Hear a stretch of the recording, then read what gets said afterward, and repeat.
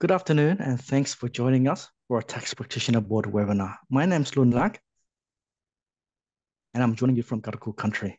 I respectfully acknowledge the traditional owners and custodians of country throughout Australia and their continuing connection to land, waters, and community.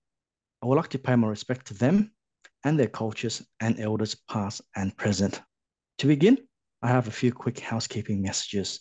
First, to obtain a copy of today's slides, you can visit our webinar resource hub at tpb.gov.au slash webinar hub. We'll also email you a copy of the slides uh, following the, the session. Today's webinar counts towards your continuing professional education or CPE, and you can claim one hour for attending. In relation to claiming your CPE, we will um, issue an attendance certificate to those staying on for the duration of the session. Mm. In this webinar, we're going to address the importance of ethics, ethical standards, the regulatory framework, recent law changes, proposed reforms, and how we are working working collectively. We will also dedicate some time at the end of the webinar to respond to your questions. In that regard, we have Madeline and Kristen from our policy and legislation team joining today. They will be responding to your, your questions as we go. To find the Q&A, simply move your mouse over the screen and a range of icons will appear. You can also use the chat function to speak to other participants, but we won't be monitoring uh, the chat closely throughout the presentation. So if you do have a question and need a response from us, uh, make sure to use the Q&A. Uh, so our speaker for today is TPB Chair, Peter de Cure. Peter, I'll hand over you to start the presentation. Uh, thanks, Lon, and uh, welcome to everybody, and thanks for joining us today. Um, for your information, I'm being supervised today by uh, Matilda, the golden Labrador, who's asleep on the couch behind me. So if she wakes up and, and has a bark, don't don't worry about it too much. She won't take much time. Um, as as Lun has said, just setting the scene, we're, we're here to talk today really about the importance of ethics and running an ethical pro professional practice. I'm sure everybody is is aware that there have been a number of recent events and a fair bit of um, scrutiny of our profession, in particular in relation to integrity and standards. Now, I really do want to emphasise that the vast majority of practitioners are either doing the right thing or doing their best to do the right thing. So today, really, we, we're going to go through what's happening in terms of the requirements for professional and ethical behaviour, what law changes and law reform is coming in, uh, just to try and put a practical bend and make your life as a practitioner easier and make sure that you're able to continue um, to provide the services that are so valuable to your clients uh, without breaching any of those ethical or professional standards. Many of you uh, in your own practices are reviewing and rebuilding your capability to reinforce ethics uh, and to reinforce through training and development of your own staff, and we genuinely support that. We commend these improvements and we're pleased to see the professional associations working very closely with us to support the regulatory framework with guidance, complaint resolution, uh, and effective disciplinary procedures to support professional conduct. Your own transparency and cooperation can assist us in mitigating any matters that are impacting on your own registration. In addition, we very much welcome the government reforms which will enhance our regulatory framework and give us the opportunity to work collaboratively with you, uh, our co-regulators, the professional bodies, uh, and the community at large. Now that I've set the scene, I'd like to take a look at what we mean when we talk about ethics. So how do you define ethics? Uh, let us know what you consider ethics are through the poll. Over to you, Julie. Thanks, Peter, and good afternoon to everyone who's joined us today. So as Peter said, we're just going to conduct a quick poll. So the question we're asking is, what is ethics? And we've got a few options for you to choose from there. So the first one is behavioural standards.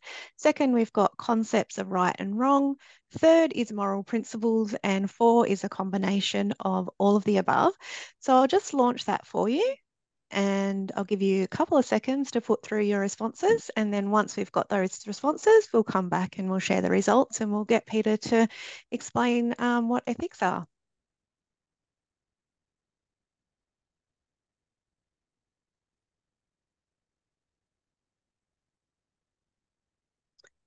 Okay, we've got about 60% so far, so I'll keep it open for a little bit longer to give you a chance to put through your response. It's a nice quick one.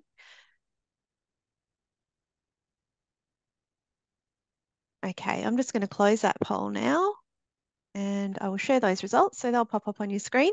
So Peter, it looks like we've got about 96% of people think that it's a combination of all of the above. 3% are saying that it's behavioural standards, 2% have said concepts of right and wrong, and the other 2% have said moral principles. So I'll hand back to you so you can uh, take us through what the correct response is. Thank you.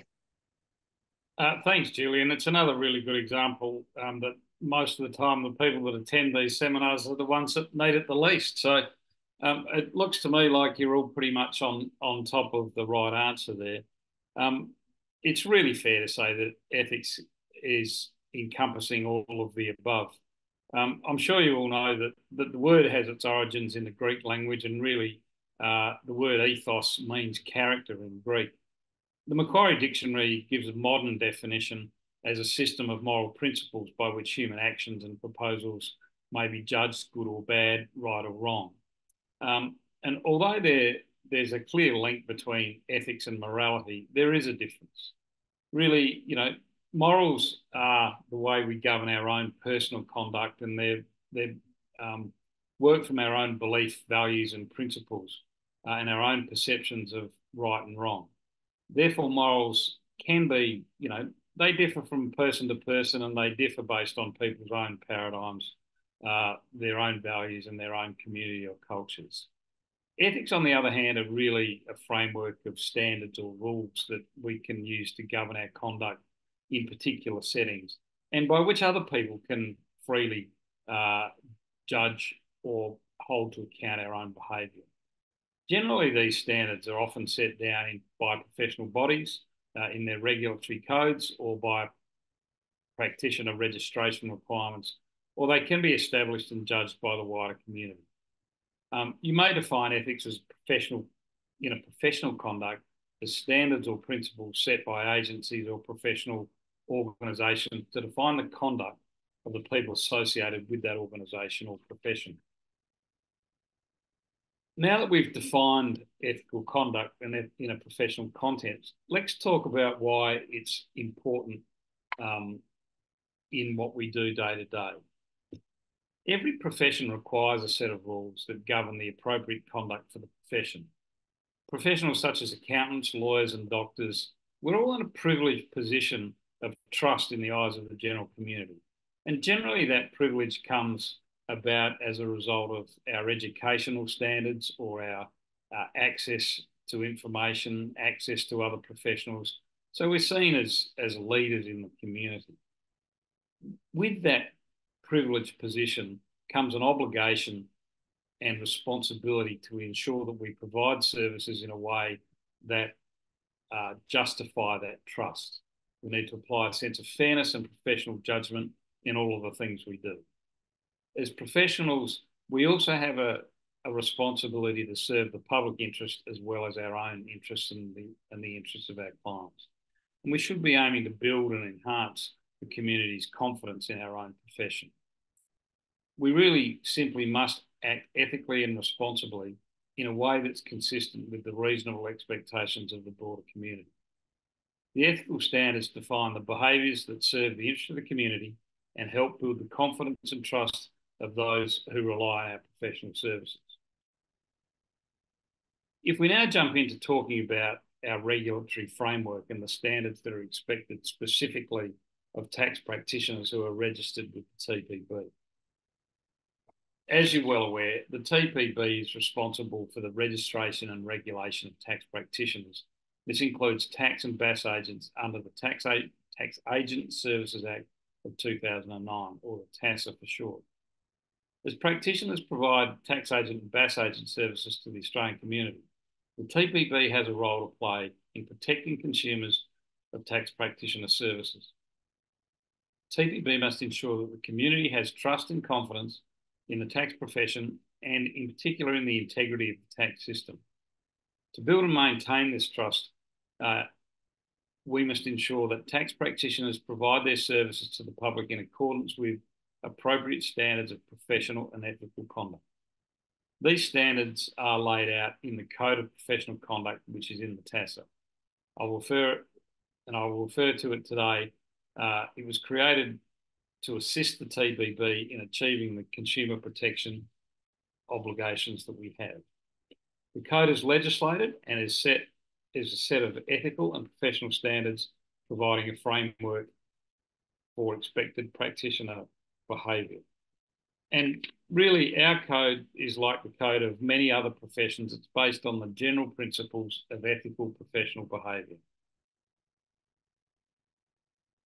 The TPB standards framework comprises of a fit and proper person test, a code of professional conduct obligations, um, civil penalty obligations, uh, a set of sanctions that are available to the TPB where practitioners have done the wrong thing, and also a fitness and propriety test, which we'll talk about in some detail later today. Or, in fact, right now. Um, to be a registered tax practitioner, you are obligated to be and to continue to be a fit and proper person. To understand the concept of fitness and propriety, propriety for tax practitioners, we need to first understand what is expected professional conduct is. The term professional conduct, we mean the way in which you act professionally uh, in your day-to-day working capacity. You play an important role in providing services to the community, which include a wide range of clients in varied businesses, professions, and in their individual and private capacities. Many of your clients have limited or, in fact, sometimes no real knowledge of our tax system. So it's an important task that demands great attributes of competence, good fame, integrity, and character of our registered practitioners. So your conduct as a practitioner should be such that the TPB, the ATO, and the public at large can have trust and confidence that you perform your role competently and with integrity. When providing services to clients, it's expected that you will display appropriate professional standard of behaviour that goes beyond just someone who's acting in a non-professional capacity. This professional conduct should go beyond just your relationship with your clients and extend to your relationship with the TPB, the ATO, and other regulatory bodies. Importantly, matters that affect your fitness and propriety may include things like finding of a breach of the code or under a civil penalty provision in relation to the TASA or other relevant legislation. So when a tax practitioner applies for registration with the TPB, we assess their educational qualifications, their work history, and place a strong focus on whether they are fit and proper to be a member of our regulated body. The TASA sets out what the TPB must consider in determining if it is satisfied that an individual is fit and proper for the purposes of registration. This includes, firstly, being of good fame, integrity, and character, uh, having not been convicted of a serious tax offence or an offence involving fraud or dishonesty, having not been penalised for being a promoter of tax exploitation schemes or non-conforming product rule, uh, not having the status of an undischarged bankrupt, and not having served a term of imprisonment. Interestingly, in the cases we investigated in the 22-23 year, around about 10% uh, had the fit and proper element to be considered in Julie, let's do another quick poll to see who must satisfy the fit and proper person requirement. Thanks, Peter. This is another multiple choice question. So once I've launched the poll, you'll um, have a few options to choose from. But the question we're asking this time is who must satisfy the fit and proper person requirement in the TASA? So again, we've got some options to choose from. So first of all, we have individual tax practitioners. Then we have directors of a company tax practitioner. The next option is directors of a company partner or sorry, a partner of a partnership tax practitioner, and we then have individual partners of a partnership tax practitioner. So when you're selecting your response, just assume that all the options provided include those applying to register or are registered as a tax practitioner. And I'll give you a little bit of a hint. There is more than one correct answer for this poll. So I'm just launching that for you now and give you some time to put through your responses and then we'll come back again and share the results with everyone.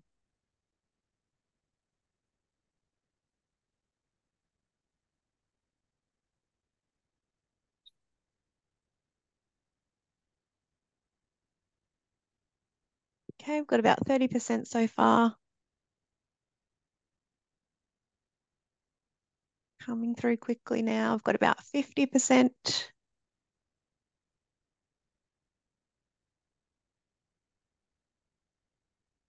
Okay, I'm just going to close that poll off now. Thanks to everyone for putting through your responses. I will share those results once again. So again, they'll come up on your screen.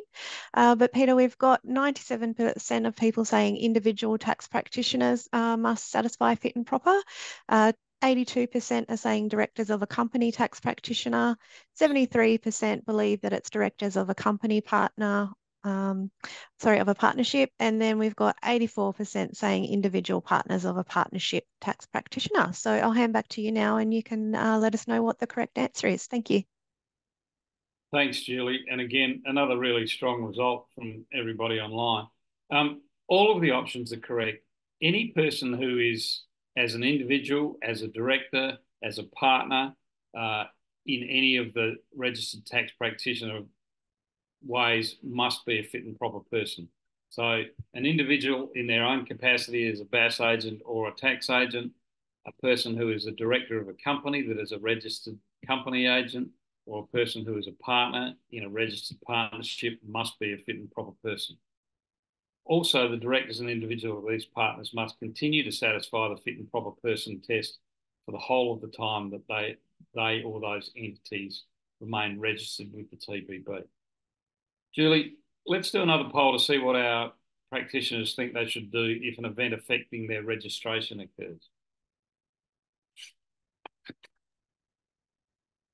Oh, sorry, Peter. I think I'm having a bit of a technical issue with that poll there.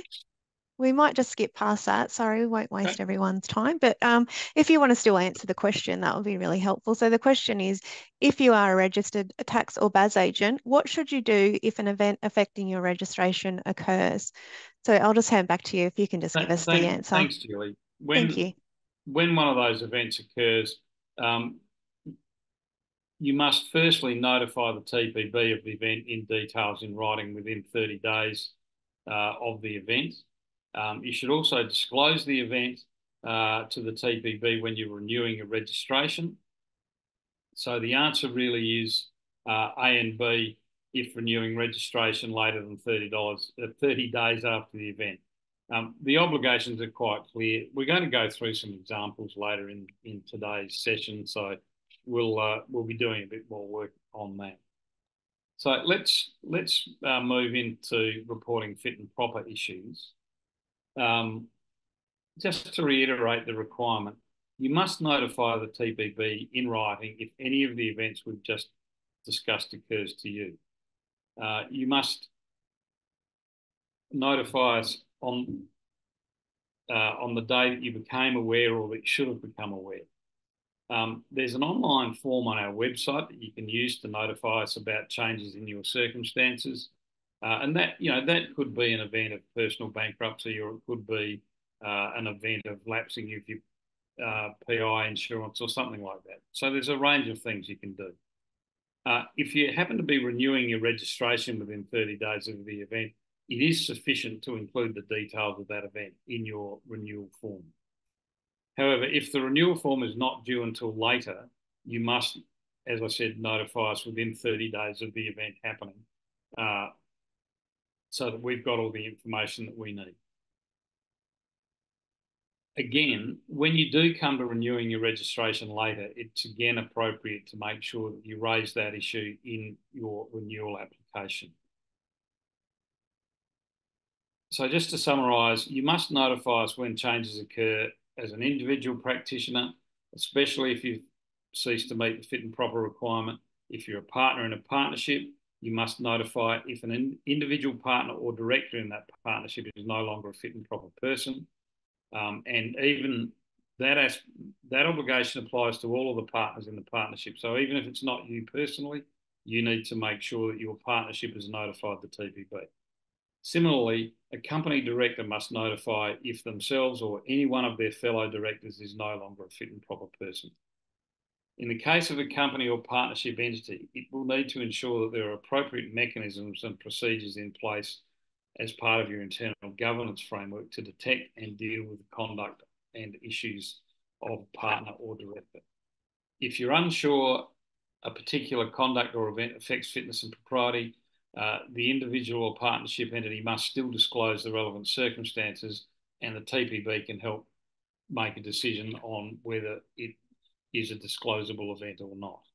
And I will emphasise we don't necessarily, it doesn't necessarily mean that if there's a 10 partner partnership, we need 10 separate reports, but there needs to be a system in place to make sure that, that the partnership reports on behalf of all of its partners or similar for a, for a, uh, a company that the company or at least one of its directors reports on behalf of the whole group. So let's jump forward and start talking a little bit about uh, fitness and propriety. Um, as I'm sure you'll understand, there, there isn't a fixed formula or a set standard rule that will determine whether a person is fit and proper to remain registered. What we need to do is consider all of the relevant circumstances in the context of the activities that a person was involved in to make an assessment in relation to their fitness and propriety. We've learnt the underlying principles in assessing fitness and propriety is to protect the community and to maintain public confidence in our tax practitioners. It's not set there to penalise or punish misconduct in any particular instance. We believe we can achieve this ultimate objective by protecting to protect the public by ensuring that only those people who have good fame, integrity, and character uh, and have the appropriate skills and knowledge can be registered to continue to be tax practitioners. Some of the relevant factors that help us in determining fitness and propriety include uh, any conduct that indicates or demonstrates a lack of fitness and propriety. How does a tax practitioner manage their own personal tax obligations? It's really important as a practitioner that you have your own personal and related party, uh, related entity tax obligations up to date. It's really important uh, how you conduct your own relationship with the ATO and the TPB. Those relationships should be conducted professionally and, and courteously. Um, any issues of previous poor conduct can be relevant considerations, as is conduct that is not directly related to tax practitioner registration. So some, you know, in particular instances of criminal activity are relevant to determining whether a person is fit and proper. Let's look at some of the conduct that specifically indicates a lack of fitness or propriety. We discussed earlier what we expect from practitioners in terms of professional conduct. We discussed that this requires practitioners have attributes of competence, good fame, integrity, and character when dealing with clients and the regulators, including the TPB and the ATO. So any conduct that falls short of this standard, such that the public, the ATO, or the TPB can no longer have confidence that you will perform your role competently and with integrity, could indicate that you are no longer fit and proper. Certain offences or conduct are so significant that these types of behaviour will render a person not fit and proper. For example, uh, if you're convicted of tax evasion, if you are convicted of conduct involving fraud, dishonesty, and especially dishonesty or fraud relating to the handling of client money and or the payment of taxes. Um, knowing failure to take appropriate steps to ensure client confidentiality, uh, deliberate failure to take appropriate steps to protect the integrity of the tax system can all be indicators of lack of fitness and propriety. Sometimes individual acts or conduct don't appear so serious when viewed separately. However, it's often the case that when a few small items are viewed together, they constitute a pattern of behaviour that is clearly serious and clearly demonstrates a lack of fitness and propriety. It's very important to highlight that where misconduct has been persistent or has persisted over several years, it will be more difficult for the person to satisfy the standards of fitness and propriety than for individual short-lived incidents. A person or employer's behaviour towards their own staff or to, a, or to the TPB staff or ATO staff uh, is incredibly important in terms of their own fitness and propriety. Even though a tax practitioner may be extremely competent, any significant bad behaviour or continued bad behaviour towards their own staff, ATO staff or TPB staff can have an adverse impact on their fitness and propriety as it undermines the required standards of the profession. Um, this, this also applies to conduct that is closely connected with the practice of the tax practitioner. We have, uh, in recent times, seen some pretty poor behaviour between agents and uh, TPB staff and ATO staff. And I really would sort of like everybody to think about that, you know, there are people on the other end of the line. And uh, I always, uh, you know, blushing from time to time when I hear what some people are saying to, uh, to ATO and TPB staff. a practitioner who engages in misconduct or wrongdoing may still be considered to be a fit and proper person. And there's a range of considerations that we go into. As I've said, where there's a where there's habitual poor behaviour, it probably is going to indicate a lack of fitness and propriety. But perhaps where there's an isolated incident and a practitioner is able to demonstrate that they clearly understand that that individual incident or isolated incident was not the right thing to do, uh, demonstrate appropriate con- contrition, uh, and uh, undertake the right sort of uh, remediatory steps, uh, can leave you in a position where, despite having one blemish, uh, you may consider to be fit and proper in an ongoing sense.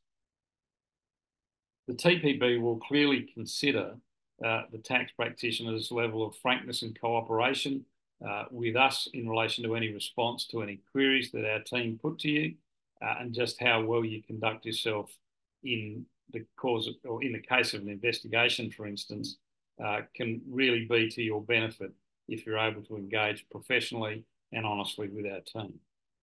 So just to finish off this section, Julie, have you have you got another poll for us? I sure do. Yeah, thanks, Peter. So this time um, we just wanted to know what types of behaviour do you think um, could be considered as not being fit and proper when dealing with the TPB?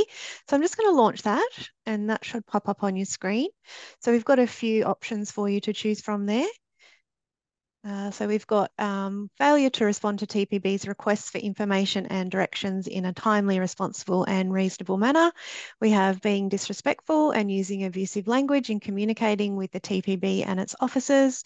Uh, failure to let the TPB know if a staff member who is not a registered tax practitioner or a director or partner is prosecuted for outstanding tax obligations.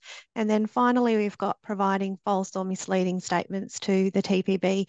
And a hint for this one as well is that there is more than one correct answer. So um, I'll leave it with you for a second to put through your responses. And then once again, once we're finished, I'll share those results with you.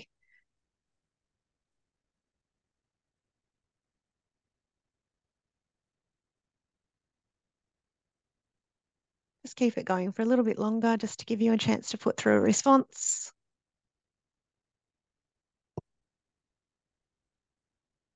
Okay, I'm just going to close that off, sharing those results on the screen. So it looks like we've got 65% say um, providing false or misleading statements to the TPB, 16% are saying failure to respond to TP Sorry, TPB requests for information and directions in a timely, responsible and reasonable manner.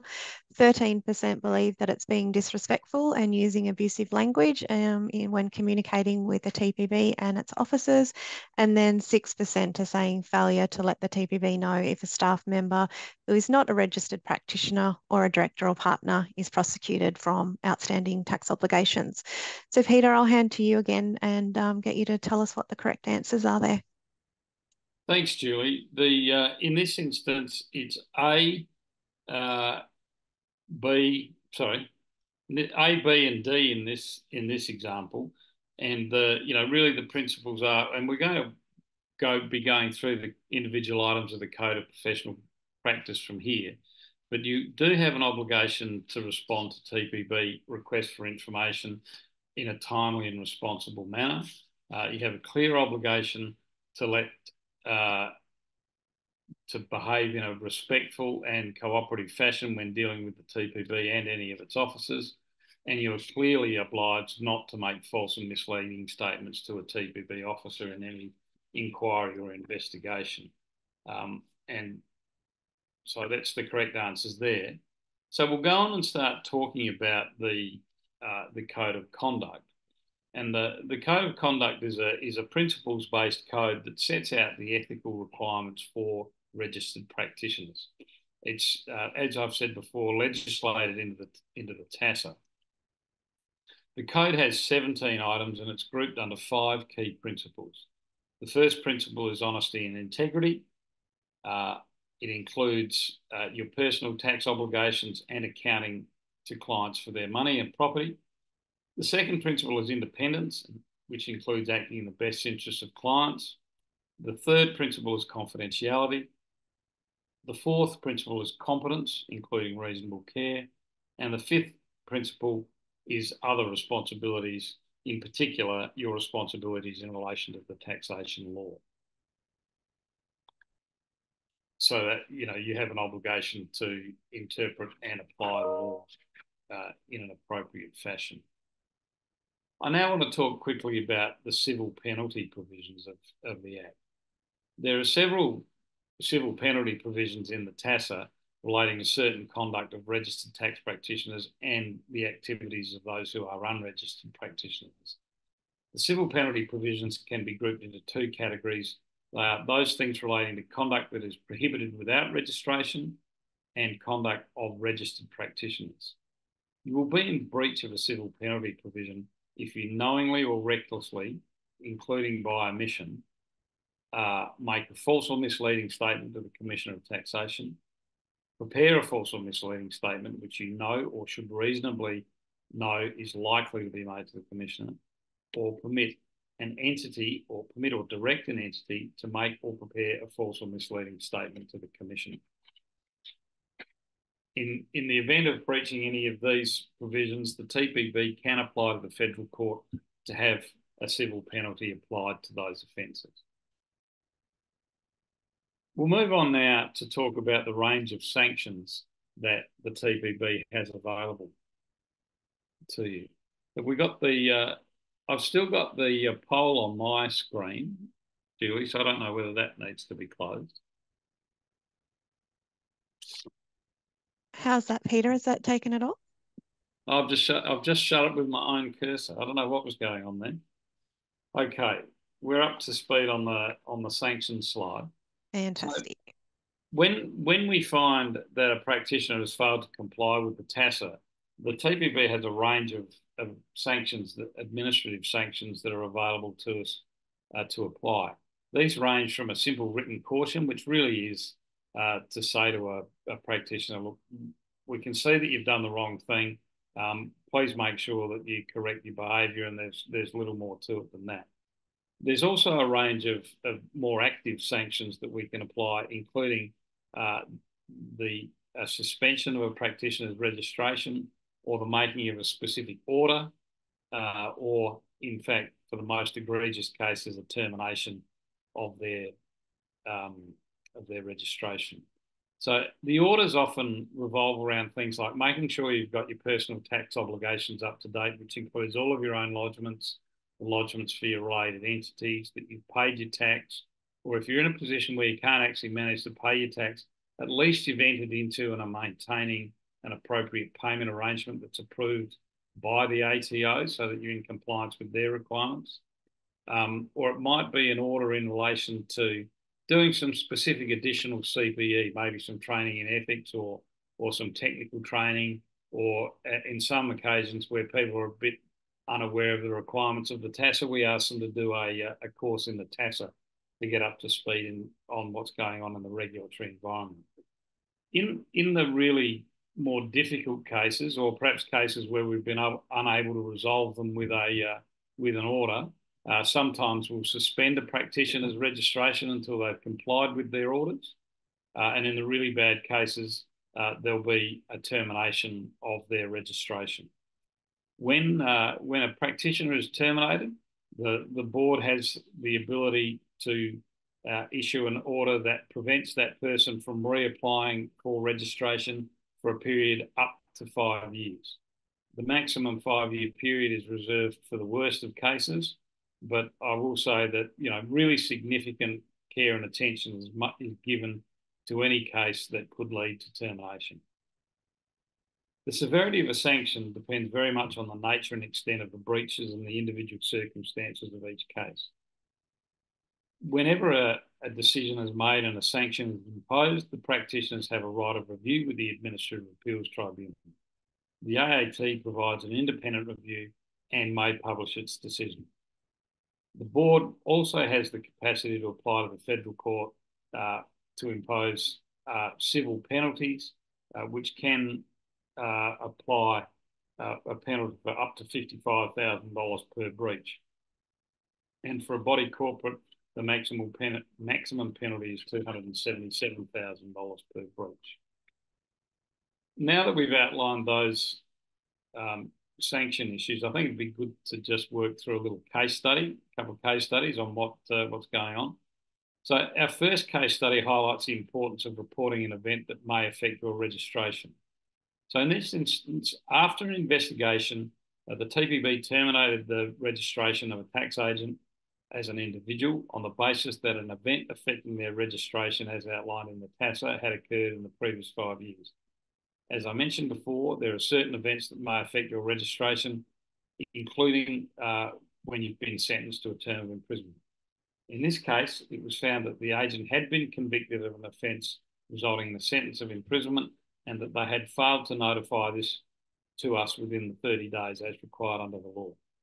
Due to the seriousness of the breach and the agent's serious failure of judgment by not reporting their criminal conviction, we imposed a six month ban on being able to reapply for registration. This outcome really serves as a reminder against failing to report any relevant events. Moving on to case study two, um, involves an agent who knowingly obstructed the proper administration of the tax laws on multiple occasions. They continuously failed to comply with their own tax obligations, not only in their individual capacity, but also as the director and trustee of a number of entities. Our investigation found that the agent had breached four items of the code. Specifically, they failed to act with honesty and integrity. Uh, they failed to comply with tax laws in the conduct of their own personal affairs. They didn't ensure that the tax agent services that they provided were provided competently, uh, and they didn't or they, they did knowingly obstruct the proper administration of the tax laws. The agent, in their individual capacity and as the sole director of two entities, lodged multiple income tax returns and BAS statements containing overstated deductions and or credits and or undeclared income, which the ATO audited and determined they were not entitled to. This gave rise to significant tax shortfalls and penalties being imposed. The tax agent also failed to pay multiple debts by their due dates, and these tax obligations amounted to over $1.6 million. The agent, in their capacity as a director, failed to cause two companies to comply with their superannuation obligations and failed to cause multiple entities to lodge numerous statements to the ATO by their respective due dates. I will emphasise that the board takes super guarantee matters and pay as you go tax instalment matters very seriously because that really is other people's money. In addition to, as a sole director of the registered tax agent company, the agent was found to have caused the company to engage in conduct that breached multiple items of the code. Specifically, this conduct included preparing and lodging in income tax returns for a client, which contained deductions that the ATO found the client could provide no substantiation for and therefore had no entitlement to. The ATO also cancelled another company's GST registration after it found that the company was not carrying on a business. another company client had GST credits disallowed for 14 quarterly BAS statements that were prepared and lodged by the tax agent company. After the ATO had found that the client did not hold any tax invoices for the reported purchases at the time of lodgement, and could otherwise not substantiate any of the amounts. We found that the agent had ceased to meet the registration requirements, that they were fit and proper person based on this persistent disregard for their obligations under the code and the determination that they were not fit, a fit and proper person the Commissioner, clients and all the public could have confidence in to perform the functions of a registered tax agent honestly and with integrity. The tax agent's registration was terminated and a five-year ban from reapplication for registration was imposed.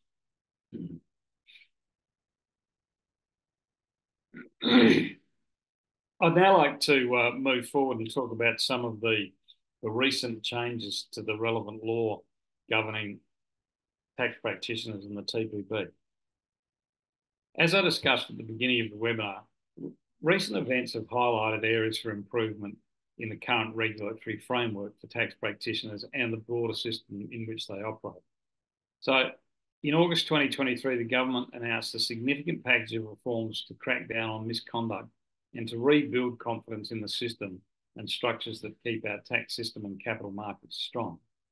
These reforms are intended to strengthen the integrity of the tax system, increase the powers of the regulators, specifically the TPB, and strengthen the regulatory framework to ensure that they are fit for purpose. Treasury Laws Amendment Bill number one, sorry, Treasury Laws Amendment Bill 2023 measures number one uh, and the introduction of Treasury Laws Amendment Tax Accountability and Fairness Bill 2023 mark an important milestone for the TPB. This is the first legislative step in implementing the first tranche of recommendations from the James Review, which was a 2019 independent review into the effectiveness of the TPB and the TASA, and to ensure that TPB's legislative framework remains fit for purpose. The important uh, changes are summarised on this slide, but specifically, uh, there's an expansion to the code to prevent engagement of disqualified entities, which is effective from 1 January 24. Uh, the, the minister now has the ability to make a ministerial instrument to expand the code. Uh, we are moving to an annual registration instead of a three-year registration period effective 1 July 2024. We have mandatory breach self-reporting effective from 1 July 2024. We have mandatory breach reporting of other tax practitioners from 1 July 2024. Uh, we have up, updating of the objects clause of the legislation, which will, is effective from 1 January 24. Uh, enhanced uh, independence for the TPB through a special account from 1 July 2024. Uh, and we have community representative standards being implemented for board members uh, appointed to the TPB with effect from 1 October 2024. These changes that have either started or will be rolled out through, through the year include expanding the code to prevent practitioners from using or employing a disqualified entity without the approval of the TPB. So a disqualified entity is effectively a practitioner who has been terminated from being a registered practitioner by the TPB. In the event that you want to employ or use the services of such a person, you require the express written permission of the TPB to do so, and there is an application form on our website uh, if you need to do that. These changes uh, really will enhance the TPB's effectiveness and independence and assist us to raise community confidence in the system. I'd now like to move on and talk about the uh, the proposed reforms. But just before I do that, um, I just want to talk about the self-reporting and um, and compulsory reporting of other practitioners. As, as you'll be aware, these uh, these provisions are coming into effect with uh, an operative date 1 July 2024. Um, before then, the TPB will provide significant written guidance in how those requirements are to be interpreted, and specifically, we will give you as much guidance as we can on the practical uh, implementation of what is and what is not a significant event. And the reporting obligations do revolve around significant events affecting the registration. So there will be um, more webinars uh, and there will be written guidance on our website to talk about those matters. Um, moving on to the proposed reforms, uh, the second stage of the government's responses include measures that strengthen the integrity of the tax system and increase the powers of the relevant regulators. This, these proposals will increase the scope and penalty amount of penalty provisions that apply to promoters of taxation exploitation schemes. They'll improve the information exchange between government agencies, for instance, the ATO, the TPB, ASIC, etc., to make sure that those bodies are able to appropriately share information. Uh, they'll extend whistleblower protection for those who wish to disclose alleged misconduct to the TPB. So disclosures by practitioners and complaints by practitioners will be able to be protected by whistleblower legislation and enable enhanced TPB investigations and improve transparency of tax practitioner misconduct on the TPB register. So we'll have an increased ability uh, to publish on our register uh, our sanctions and decisions uh, that have been made. Moving on to the next slide, we're talking about the, the next phase of government consultation. Uh, the response that focuses on the proposals will be the subject of detailed consultation between Treasury, the TPB, the professional associations and community representations to make sure that the law is as practical and easily implemented as possible. In the next couple of slides, I'll discuss some of the new sanctions and code obligations that we can expect to see from future reforms. Late last year, Treasury released a consultation paper to strengthen the TPB sanctions regime. In particular, we're looking to in, have available a robust regime with graduated sanctions that will have a greater deterrence effect on those that engage in misconduct and will allow the TPB to respond to misconduct in a timely manner with sanctions that are proportionate to the severity of the contravention of the law. I really would point out that, that these increased sanctions won't be a great problem for the, you know, the vast majority of you who do the right thing. You, you won't see this, but these sanctions will be a great assistance to the TPB in ironing out the sort of really bad behaviour that gives the whole of the profession a bad name. In particular, the consultation process proposes a number of new sanctions, including criminal penalties for unregistered tax practitioners. And I know that many of you have trouble with competing or, or getting a level playing field competition against unregistered practitioners. There'll be a broader and increased civil penalties available under the TASA. Uh, there'll be an infringement notice scheme attached to the civil penalty regime. Also, a new TPB power to allow us to have uh, an enforceable voluntary undertaking with tax practitioners. So that there's an agreement uh, on how to behave going forward that will be enforceable. Uh, and also a new TPB power to impose interim and contingent sanctions in, in really bad cases. And one of the things that I will emphasise here, we, we've seen a number of instances recently where agents have been engaged in obvious criminal conduct, uh, defrauding their clients, um, waste, you, you know, using client refund money for gambling and drug habits. And we really need that ability to step in and stop those people from practicing to protect the public and their clients from any any further abuse by these sort of bad behaviour. It's hard to imagine an interim sanction or contingent suspension being applied in anything but the most egregious of cases. Um, want to move on now to talk about some of the new proposed code obligations. Um, obviously, late last year, Treasury released the draft determination that it contains proposed additional obligations that will supplement supplement the obligations already in the code. The new proposed obligations include criminal penalties for unregistered practitioners, uh, upholding and promoting the ethical standards of the tax provision, um, obligations in relation to false or misleading statements to the TPB and the ATO, specific provisions in relation to conflict of interest management when dealing with government, uh, more specific obligations in relation to maintaining confidentiality in dealings with government, very specific obligations in relation to keeping of proper client records, ensuring tax agent services provided on your behalf are provided competently. So that's about adequate supervision and control, uh, quality assurance and other internal controls, and proper communication, and keeping your clients informed of all relative, relevant matters in relation to your own behaviour as a tax practitioner. So there will be obligations on practitioners to inform their clients if there are matters affecting their own registration.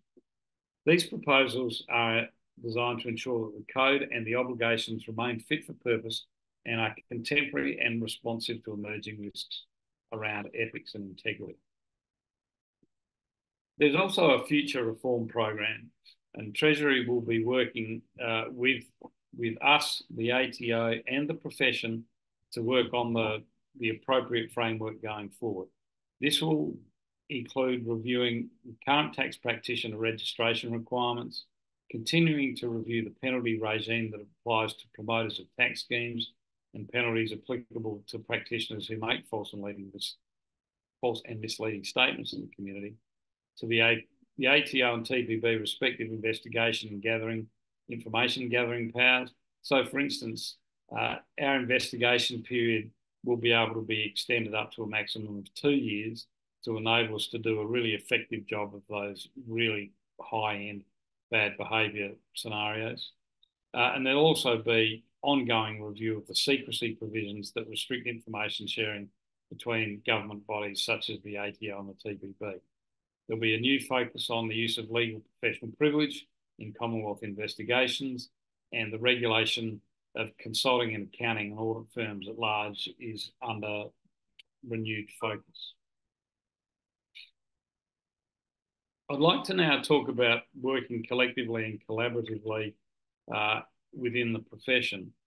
Um, and as I stated at the outset, we, we do know and we see every day that the vast majority of tax practitioners do the right thing. There is a small minority that don't, and they take advantage of their privileged position within the regulated population. There are aspects of the current regulatory framework that need to be enhanced so that there are appropriate responses when misconduct occurs.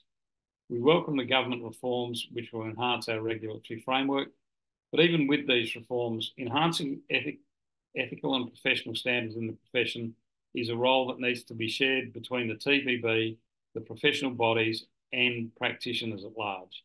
So we very much value your assistance in this in this collective effort. Um, we will be working closely, as I said, with the with government, with other regulators, with educators and with professional bodies as well as all of you in the profession. In concluding today, some of the key considerations that I'd like to give you as takeaways. Uh, on an individual basis, if we can all aim to be uh, a role model for other practitioners, uh, whether it be uh, your colleagues or whether it be your own staff, I think if we can all role model the right behaviour, it, it's infectious. Please be aware of your own obligations and values and embody them in your day to day work, not only because you have to do so, but because it's the right thing to do. We ask you always to put your client's interests before your own because that's the right thing to do.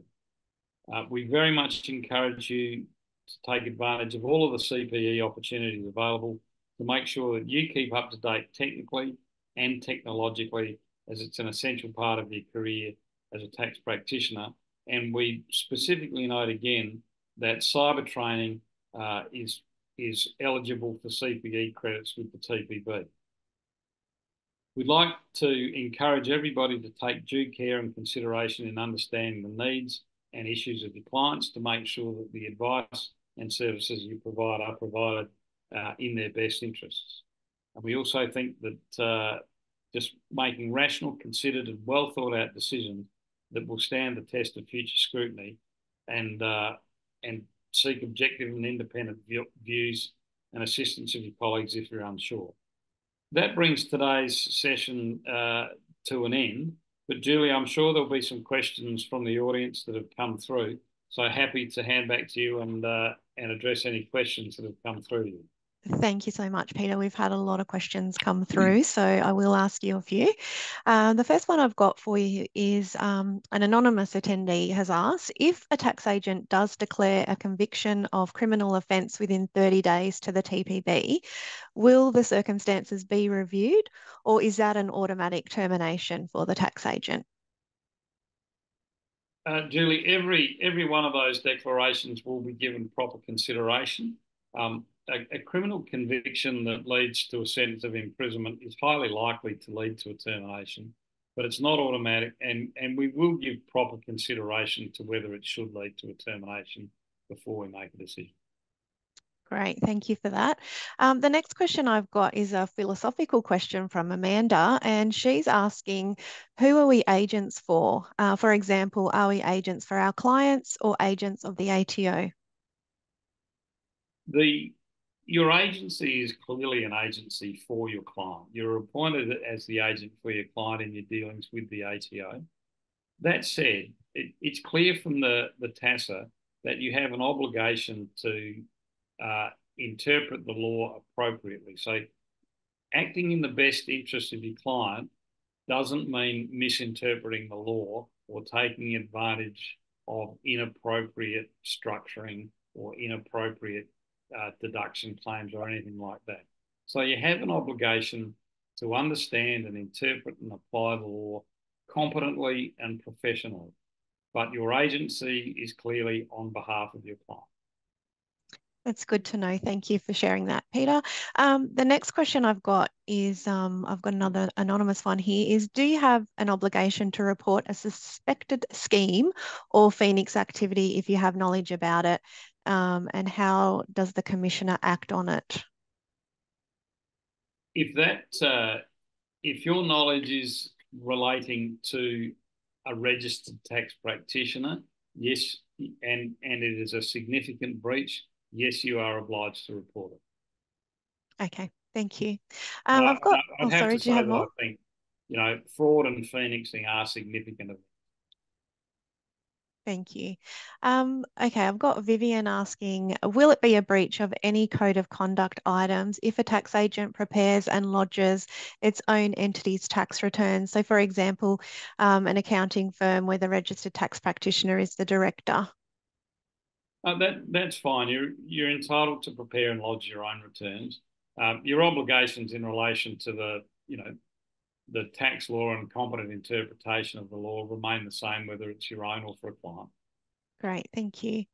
Um, I've got a question about the new annual registration process, Peter, as well. Um, I've got someone asking what the fee structure will be for the annual registration. So the, the final determination of the fee structure is a matter for the government and they haven't advised us as yet. The thing I can say is that the recommendation from the James Review was that the current fee would be divided by three and charged annually. And at this stage, we expect that the, the fee will be determined in that way. Uh, and there'll obviously be, you know, accelerated inflation adjusted. Um, but that final determination is yet to be made by the government. Thanks, Peter. And we'll keep everyone updated as soon as we've got more information on that. So just um, keep an eye on e-news and um, things like that, social media. We'll update you there. Um, so the next question I've got, Peter, is uh, what safeguards will be in place to protect whistleblowers who report another tax practitioner?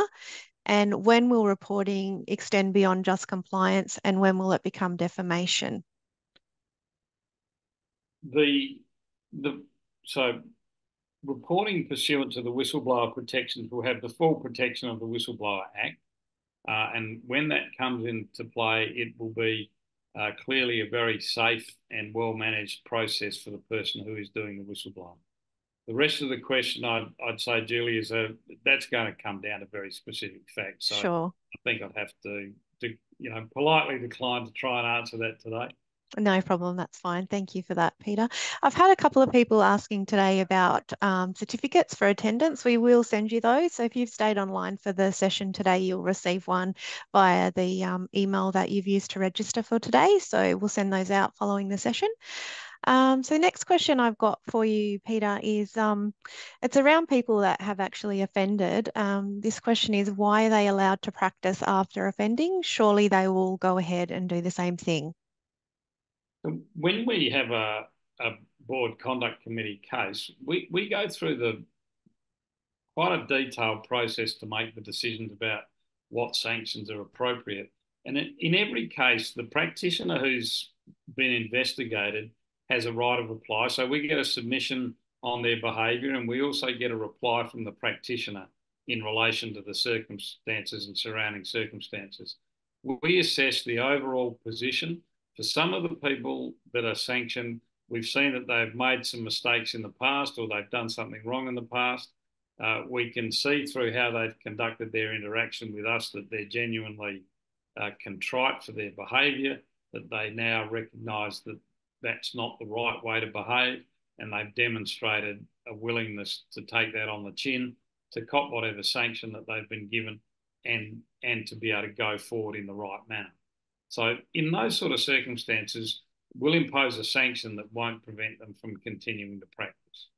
In the more egregious, you know, recidivist behaviour, repeated bad behaviour, uh, lack of contrition, or just simple, you know, dishonesty, like you know, defrauding clients, involved in fraud against the tax system, those sort of things. There's just no question that they shouldn't be in the system. So they're the ones that are termed. Thanks, Peter. I think that's all we've got time for in terms of questions, but I just wanted to say thanks to everyone for putting through your questions. There's been some really good ones coming through today. And um, what we will do is we will share some of the questions and answers on our website in the next coming week or so. Uh, so yeah, please, um, if your question hasn't been answered today, we will get to you and we will publish them on the website as well, just so that everyone can benefit from the answers as well. Um, so just uh, to finalise today's webinar, I just wanted to say a big thank you to Peter for sharing um, all those useful insights with us today. It was good to hear about the reform program and um, some of the ethical uh, changes that are coming up. And um, I also wanted to say thank you to Madeline and to Kristen for assisting with the questions. They've been very busy there helping everyone out. Um, we do hope that you have found the webinar beneficial. And as I said at the beginning, um, it does count towards your CPE and we will issue an attendance certificate to those of you who have stayed online today. Um, just some information on keeping up to date. Um, jump on our website, tpb.gov.au. You can also follow us on LinkedIn, Facebook and Twitter. That's where you'll get the most most up-to-date uh, information.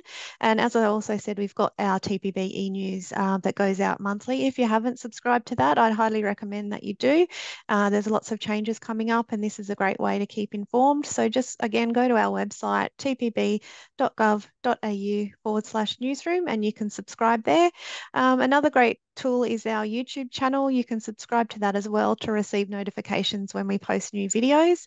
And we do record all of our webinars. So if you aren't able to attend, you can watch them and you can still actually count um, that towards your CPE as well for viewing the recordings. Um, so just finally, before we finish up, we'll be launching an exit survey and we would really appreciate it if you could complete it. super quick, only takes a moment of your time, but your feedback's really valuable. It helps us improve on the webinars. And you can also suggest topics that you might be interested in hearing about from us. And we do review those and try to um, incorporate those into our program as well. So the survey will just pop up in your browser once you leave the webinar today. And once again, just wanted to say thank you so much for joining us and we hope that you enjoy the rest of your day and we'll talk to you again soon. Thanks everyone. Thanks, Peter. Thanks, Julie. Cheers, everyone. Bye. Bye.